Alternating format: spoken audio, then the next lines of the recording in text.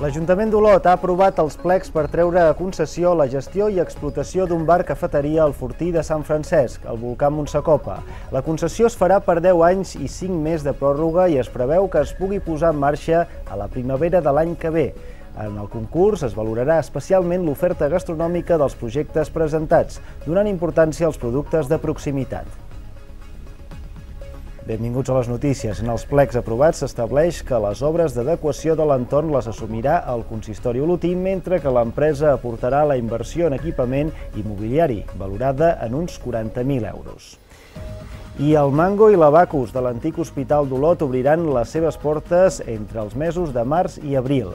Les obres, que ja fa setmanes que duren, s'han allargat per diversos contratemps que ja s'han solucionat.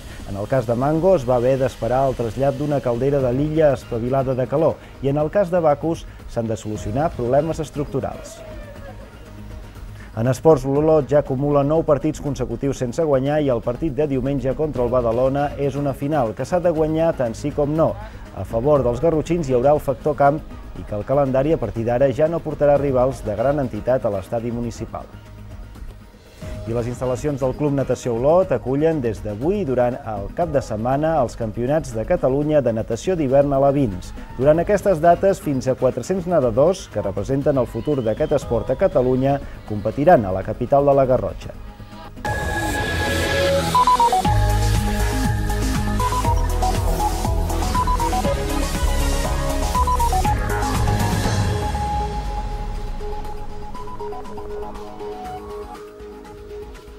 En poc més d'un any, a la primavera del 2017, es preveu que el bar cafeteria del Fortí de Sant Francesc es pugui inaugurar. L'Ajuntament d'Olot ja ha aprovat els plecs per treure a concessió la gestió i explotació d'aquest establiment. El concurs s'obrirà un cop els plecs s'hagin publicat al butlletí oficial provincial i al de la Generalitat de Catalunya. Properament i durant 25 dies s'obrirà el procediment per a la concessió de la gestió i explotació d'un bar-cafeteria al Fortí de Sant Francesc, al volcà Montsecopa d'Olot. Els plecs que va aprovar ahir la Junta de Govern Municipal estableixen que la concessió serà per 10 anys, més 5 de pròrroga, i l'empresa haurà de pagar un cànon anual de 3.000 euros, és a dir, 250 euros al mes. L'empresa concessionària haurà d'assumir el manteniment i la neteja de l'espai, tant interior com exterior de la zona, inclosos els lavabos públics i els serveis als visitants que s'hi ofereixin. Haurà de ser un punt acreditat per Turisme Garrotxa i el Parc Natural per donar informació turística de la comarca i en un termini de dos anys el bar cafeteria haurà d'estar acreditat amb la Carta Europea de Turisme Sostenible. També haurà de respectar les limitacions de mobilitat a la zona del Montsecopa. Limitem l'accés amb temes de mobilitat, només podran pujar dos vehicles a la persona que faci que tingui la concessió, eh? per tant tots els clients evidentment eh, hauran de pujar a peu, però també doncs, els, les persones que tinguin la concessió del bar doncs, eh, hauran de pujar eh, amb dos vehicles i no es permetrà que els proveïdors puguin pujar a Sant Francesc. Per tant, haurà d'establir algun sistema de, eh, magatzem, de magatzem a baix o, o a dalt i pujar ell doncs, amb, algun, amb algun vehicle propi. El bar cafeteria, que també podrà tenir llicència de restaurant, haurà d'estar obert com a mínim 6 dies a la setmana durant l'horari d'estiu, que anirà d'abril a octubre i inclourà també el període de Setmana Santa. Es permetrà un dia de descans setmanal que en cap cas no podrà ser durant el cap de setmana ni en dies festius. En horari d'hivern, com a mínim, haurà de restar obert els festius i els caps de setmana. En els criteris de valoració dels projectes tindrà un pes important la proposta de restauració de l'oferta gastronòmica. Anem que ha de ser un espai de presentació de l'oferta gastronòmica de la, del territori, per tant, en, per això hem donat molt de pes en els plecs, en la puntuació, l'oferta gastronòmica. Ens sembla que ha de ser molt important el que s'ofereix en temes de gastronomia i també entenem que potser en un bar cafeteria és complicat que puguin acabar sortint els números. Eh? per tant, eh, nosaltres ens sembla que, que el model doncs potser en algun cas voldrà dir eh, oferir altre, algun altre tipus de servei. Les obres per a l'adequació de l'espai del bar les assumirà l'Ajuntament d'Olot, que ja compta amb una partida pressupostària per a aquest projecte i també amb una subvenció del Pla de Foment. L'empresa que obtingui la concessió haurà d'assumir la inversió d'equipament immobiliari, que s'estima en uns 40.000 euros. Amb tot, es preveu que el bar cafeteria podria posar-se en marxa la primavera de l'any que ve.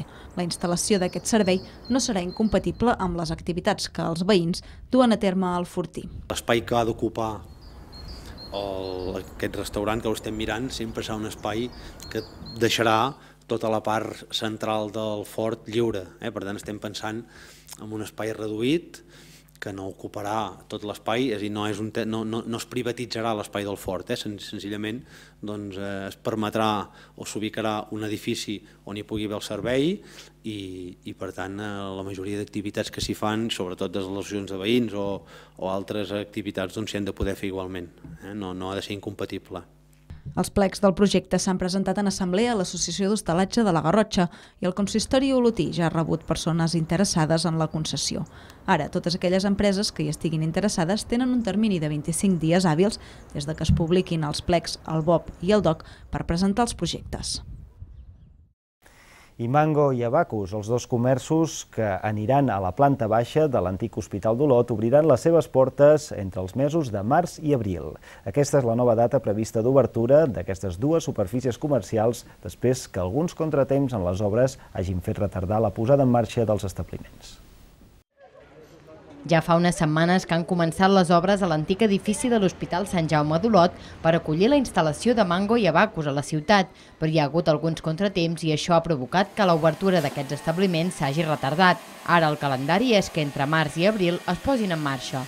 La primera serà Mango, que està previst que obri les portes entre mitjans i finals de març. Inicialment havia d'inaugurar-se aquest mes de febrer, però el trasllat d'una caldera de l'antic hospital ha allargat les obres més d'un mes i mig. I com que anava lligat a les obres que feien Bàtia i gas natural, fins que no es va poder fer aquest trasllat, que no va arribar a la caldera, doncs això ens va retardar que poguessin ells créixer eh, en l'espai de botiga.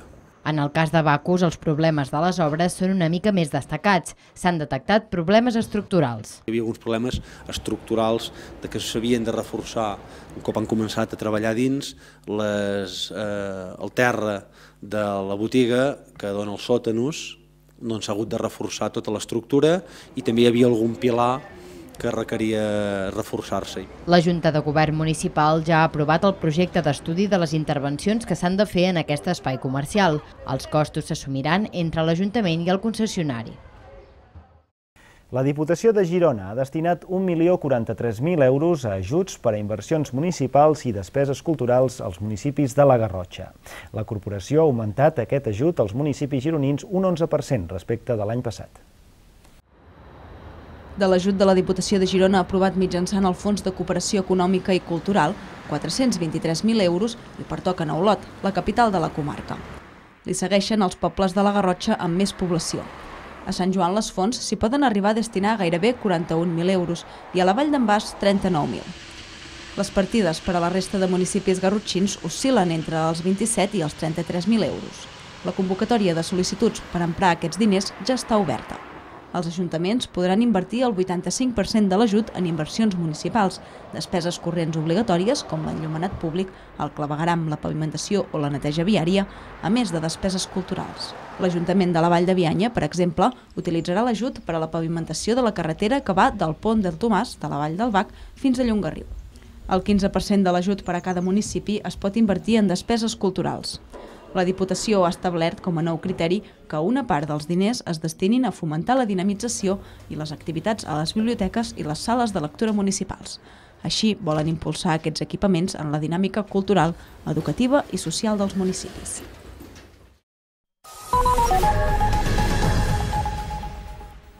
You said no, no, no,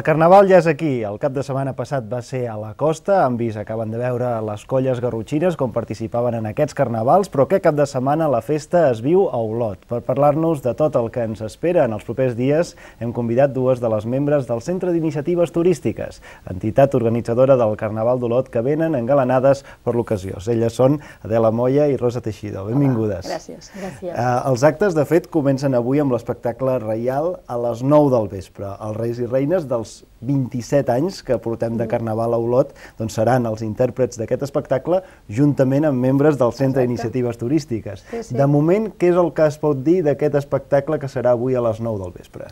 Bé, que aquest espectacle fem 18 actuacions, tal com tu bé has dit, que són reis i reines d'ex anys i membres del CIT.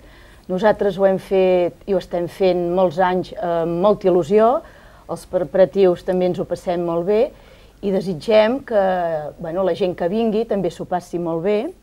Sí que he de dir que les entrades ja estan totes pràcticament venudes, em sembla que només en queden sis a platea i sueltes, i al primer pis encara queda alguna Sí, al primer pis queda una de, de 6 euros, sí. I Hi ha alguna des- cosa. Algunes al teatre principal. Eh? Sí. Exacte, sí. I des d'aquí doncs, animo a la gent que encara que no tenen entrada i vol, vulguin passar un rato agradable i divertit, doncs que ens vinguin a veure. I la festa continuarà al pub Lucky Luke d'Olot a partir de les 12 de la mitjanit eh, amb el Ball de la Dona, el tradicional Ball de la Sí. Dona, que aquest any, bueno, i com, com sempre, doncs, també té premi. I No? tant, sí, sí, sí.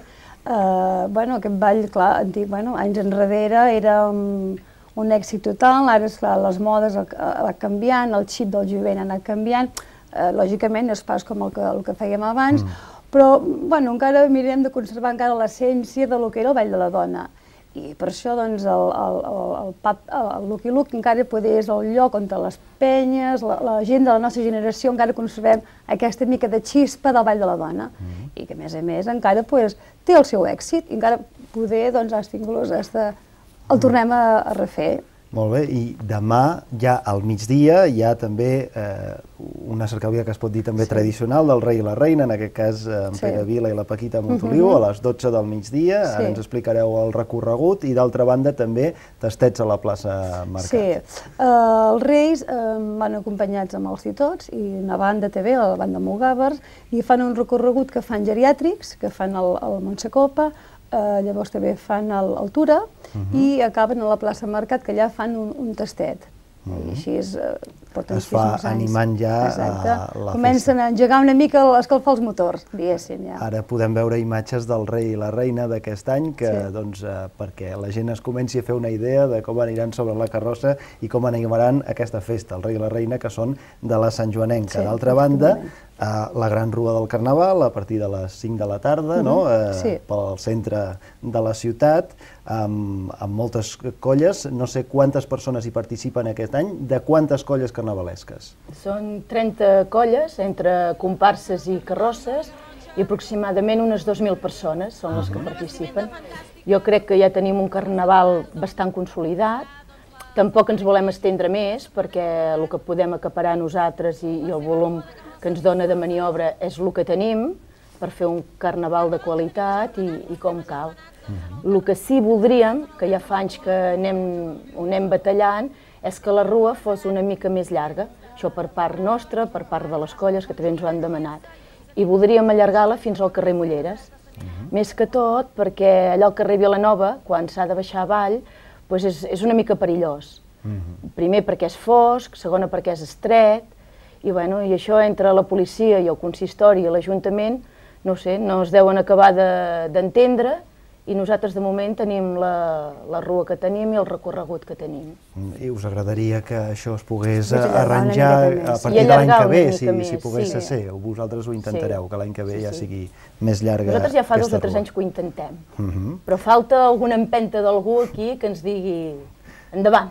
Molt bé, aquest any, després, a la nit, es donarà, eh, durant el sopar, doncs, els premis de les carrosses, comparses. Aquest any són d'un gran nivell, ja venen de la participació que ara veiem fa una estona eh, als carnavals de la costa, doncs amb aquests premis per detallar el que són les carrosses grans, a Platja d'Aro doncs, primera va quedar la Carnavalesca, també va quedar segona el de Sant Feliu de Guíxols i eh, la Sant Joanenca va quedar també segona del de Platja d'Aro i molts més premis sí, en sí. comparses. Diguem que eh, 27 anys enrere, quan es va eh, iniciar aquest Carnaval d'Olot, es pensava que la Garrotxa no era terra de, de Carnaval i anys després, ara sí. es pot dir que les colles Recollim. de la costa temen no? Exacte. les propostes Són de la uns, uns competidors també ara per ells, eh? perquè és clar, ara recollim molts premis i abans doncs, eh, bueno, no, no s'hi comptava amb aquest, amb aquest boom que la Garrotxa. Mm. També molt bé. Estem Llavors, contents, no?, del sí, nivell que estan assolint És un nivell, és un nivell, mm. sí, sí, és un molt bon nivell. Des d'aquí també agrair tota la gent de les colles, els carrossers, tota la gent que hi participa, perquè si tu no hi estàs a dins, eh, la gent que van a veure el Carnaval, bé, veus a passar la carrossa, molt maco i tal, però és que darrere hi ha un treball increïble i aquesta gent s'ho mereixen tot, mm. perquè sense ells aquestes carrosses no serien possibles. Són mesos i mesos de preparació. Sí, però molts mesos, eh? I des d'aquí sí que volem agrair a tota aquesta gent pel seu esforç que fan. -huh. perquè sense ells no, no seria possible. Molt bé, i a part del sopar, els premis, hi ha un parell d'actes més amb què sí. acabarà la festa. Quins són? Sí, eh, durant el decurs de, del sopar aquest, també eh, ens anem, sí, del sistema del dissabte, eh, també fem eh, la visita del rei i la reina, els portem a la 10, que es fa el ball de, de fans, i després, eh, quan acaba el ball d'aquí del, mm. del, del pavelló, eh, tornem llavors a fer una festa, fem un ball fins a les dues així, fem un ball del Turín, uh -huh. i després eh, fins a les 6 de la matinada o així. Eh? El fi de festa, fi de es va acabar al Turín. De, de totes sí. aquestes sí. animacions, aquestes activitats i sí. aquesta festa que porteu doncs, al cap de setmana a Olot. Doncs Adela Moya i Rosa Teixidor, moltes gràcies, gràcies. per ser aquí, donar-nos els detalls i que el temps acompanyi Exacte. perquè puguin lluir totes esperem, aquestes sí. activitats que tenim esperem, previstes. Gràcies. gràcies a vosaltres.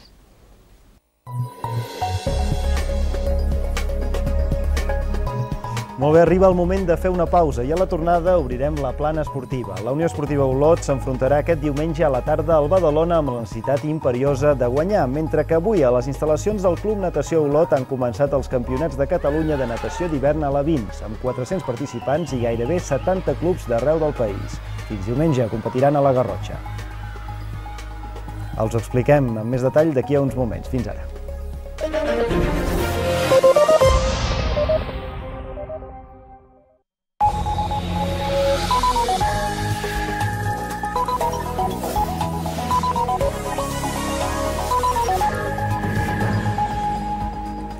Unió Esportiva Olot necessita començar a sumar victòries si no vol acabar patint al final de la temporada. Diumenge juga a casa a les 4 de la tarda contra el Badalona. En principi es tracta d'un rival de menys entitat que el Reus, el Villarreal o el Lleida. Després de nou partits sense conèixer la victòria, ja és hora que l'Olot guanyi i comenci a sumar de 3 en 3 per allunyar-se de la zona perillosa de la taula. Diumenge a la tarda, amb el Badalona davant, serà el moment perquè els garrotxins transformin el bon joc de casa en bons resultats. En casa el equipo está mostrando muy, muy buena imagen, muy, buena, muy buenas prestaciones y, y seguiremos así. Eh, ahora vienen, vienen equipos en casa que a priori son equipos pues de, de un potencial menor que que Reus o Villarreal, que también hay que, tener cuidado, pero sí que es cierto que no, no, no sus plantillas no, no, están compuestas por, el, por este tipo de futbolistas. Y yo creo que si nosotros seguimos con la trayectoria que llevamos en casa, pues yo creo que hemos de sumar muchos partidos y muchas victorias aquí. El Badalona només té 5 punts més que els homes de Rodri, però això no vol dir que el de diumenge sigui un partit fàcil. Es tracta d'un equip expert i murri, que pot saber complicar les coses. Es un equipo que lleva muchos años en la categoría, que, que tiene jugadores pues que llevan, llevan muchos partidos en, en su espalda desde la categoría, experimentado, un entrenador que, que imprime un, a sus equipos carácter, intensidad. Es un equipo pues que cada año va, va asumiendo el reto de, de, mantenerse en la categoría y lo va haciendo y de vez en cuando algún año da el bombazo y se mete en posiciones más arriba. La clau per a un bon partit es trobarà en fer valer el factor camp per començar una ratxa positiva que deixi a la Unió Esportiva Olot en una posició prou bona com per deixar de patir. Olot acull els campionats de Catalunya de natació d'hivern a la Vins des d'avui i fins diumenge. Feia 3 anys que el Club de Natació de la capital garrotxina no organitzava un esdeveniment d'aquesta magnitud, però enguany s'ha aconseguit portar el futur de la natació catalana i competir a la comarca. Fins a 400 nois i noies participen des d'avui fins diumenge al Campionat de Catalunya de Natació d'hivern a la Vi. Aquest esdeveniment reuneix el que representa el futur de la natació a tot el país i per a una entitat com el Club Natació Olot es tracta d'un acte molt rellevant, ja que posa la capital de la Garrotxa com un punt de referència per al mapa d'aquest esport. Evidentment, fer un campionat de Catalunya comporta molta feina i despesa per un club com el nostre, però té com a contrapartida que et dona un prestigi i et dona doncs, la possibilitat de tenir aquí la gentada que tenim avui, tant de nedadors com d'acompanyants, que ens sembla que s'ho passaran molt bé durant aquests tres dies de campionat. En total són 68 els clubs que porten els seus nedadors a competir a Olot. La representació gironina és important, sobretot a nivell de participants. Unes cinquantena són de la demarcació. Al voltant de les comarques gironines, entre 40 i 50 que són gironins i això ens enorgulleix doncs, que tinguem eh, aquesta participació de gironins eh, en aquest campionat de Catalunya i esperem que aconsegueixin doncs, eh, pujar a pòdium els màxims possibles. Així, el Club Natació Olot torna a organitzar uns campionats d'hivern 3 anys després de fer-ho per última vegada. Tots els voluntaris i l'organització intentaran aconseguir que l'esdeveniment pugui resultar un èxit, tot i que les instal·lacions olotines són una mica justes per a aquest tipus de campionat. Les instal·lacions nostres, tot i sent molt adequades, s'han fet petites i la federació ha anat més a fer eh, campionats amb piscines més grans. Ara fa 3 anys que no fèiem un campionat i aquest any hem tingut l'oportunitat de tornar-lo a fer. S'ha triat Olot perquè sabem i tenim constància de la bona organització, perquè form, té un equip eh, de persones que dona garantia de la bona organització d'un esdeveniment d'aquestes característiques i un campionat de Catalunya d'hivern de natació doncs és un marc incomparable primer per l'entorn que tenim aquí al voltant del Club Natació d'Olot i a banda doncs, de que les instal·lacions reuneixen els requisits imprescindibles per fer una competició d'aquestes característiques. És per això que el Club Olotí aposta fort per tornar a convertir-se en un referent català per acollir campionats d'aquesta magnitud.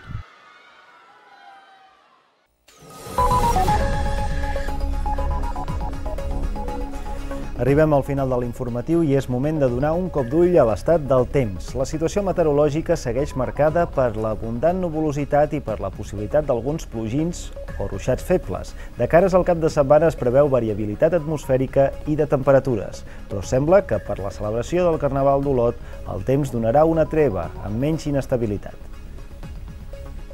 En uns minuts, Roger Soler, el nostre home del temps, els amplia aquest pronòstic a l'espai del temps. Nosaltres abans repassem els titulars més destacats del dia.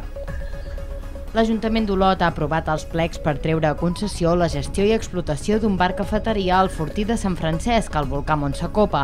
La concessió es farà per 10 anys i 5 més de pròrroga i es preveu que es pugui posar en marxa a la primavera de l'any que ve. Mango i Abacus obriran les seves portes a Olot entre els mesos de març i abril. Les obres, que ja fa setmanes que duren, s'han allargat per diversos contratemps que ja s'han solucionat. En el cas de Mango es va haver d'esperar el trasllat d'una caldera de l'illa espavilada de calor i en el cas de Bacus s'han de solucionar problemes estructurals. La Unió Esportiva Olot ja acumula 9 partits consecutius sense guanyar i el partit de diumenge contra el Badalona és una final que s'ha de guanyar tant sí com no. A favor dels garrotxins hi haurà el factor camp i que el calendari a partir d'ara ja no portarà rivals de gran entitat a l'estadi municipal. Les instal·lacions del Club Natació Olot acullen des d'avui i durant tot el cap de setmana els campionats de Catalunya de natació d'hivern a la Vins. Durant aquestes dates, fins a 400 nedadors que representen el futur d'aquest esport a Catalunya competiran a la capital de la Garrotxa. Això és tot. Ja saben que a la pàgina web d'Olot Televisió i a les xarxes socials de la cadena hi poden trobar totes les notícies per mantenir-se al dia de l'última hora a la Garrotxa. Els recordem també que demà podran veure en directe la rua del Carnaval d'Olot per Olot Televisió a partir de dos quarts de sis de la tarda. Seguim informant-los de l'actualitat més pròxima. Bon cap de setmana.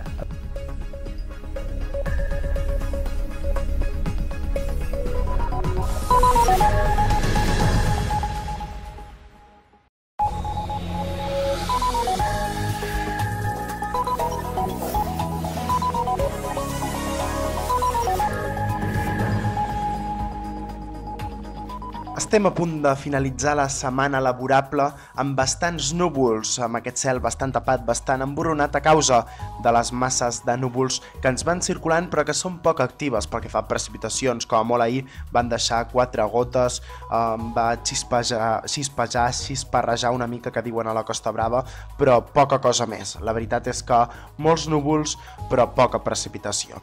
Imatge, per començar, que ens capta amb el Servadosa des dels hostalets d'en Bas, que podria resumir el temps eh, d'aquest dijous, de la jornada d'ahir dijous, i també en part d'aquest divendres amb nuvolositat entre variable i abundant. Anem a conèixer el temps de cara a aquest cap de setmana a Carnestoltes, a Olot, a Sant Joan les Fonts i en altres municipis garrotxins amb un temps que demà aguantarà. No us preocupeu, eh? perquè observeu, mapa de símbols, els ruixats que ficàvem a l'abans de pronòstic per dissabte, ahir, els hem tret perquè els desdibuixen. Per tant, la possibilitat que plogui és baixa o inexistent però sí que hi haurà intervals de núvols. La jornada serà variable, mitja nuvolada, una mica ventosa cap a l'extrem oest i cap al sud, especialment a les muntanyes de la serra transversal, una mica de vent també a Sant Feliu de Pallarols, a les planes d'Hostoles i a la Vall d'en Bas, 30, 40, 50 km per hora. A la resta no farà vent, estarà mig ennuvolat i temperatures que pugen, ho fan les mínimes i ho fan les màximes. La nuvolositat variable i el vent de ponent ajudaran a que aquestes temperatures no siguin gaire baixes. No farà gaire fred, valors mínims de 7 a 11 graus i màximes de 14 a 17 graus i poca amplitud tèrmica, poca diferència entre les temperatures nocturnes i les diurnes. Segona meitat del cap de setmana, diumenge, sí que plourà, a diferència de demà, sí que esperem ruixats perquè arriben un embussament d'aire fred que es despenja i que al seu davant provocarà la reactivació de la inestabilitat, però sobretot a la tarda-vespre. És un mapa de tarda-vespre. Durant el dia estarà entre variable i ennuvolat, tapat a estones, una mica de vent encara residual a la Vall d'en Bas o a Sant Feliu de Pallarols, i no serà fins al vespre que s'incrementi la possibilitat de ruixats i que guanyin aquests extensió geogràfica. Dimecres les temperatures anirien a la baixa. A la resta de comarques de Girona, fins aquesta pròxima matinada i primeres hores d'aquest dissabte pot nevar encara a la Cerdanya, precipitacions de neu per sobre dels 1.400 metres d'alçada. A partir del matí s'anirà escampant aquesta possibilitat de neu, el cel quedarà variable, intervals de núvols a tot arreu, una mica de vent de ponent en alguns punts, especialment cap a l'interior fins al prelitoral nord. A la Costa Brava no arribarà aquest vent de ponent, sí que farà calor, demà farà calor a la Costa Brava, màximes de 24 a 25 graus, perquè aquest flux de ponent allà arriba més rescalfat i fa ressecar i rescalfar la massa d'aire, per tant temperatures màximes en clar ascens, pujaran les temperatures mínimes i també les temperatures màximes màximes.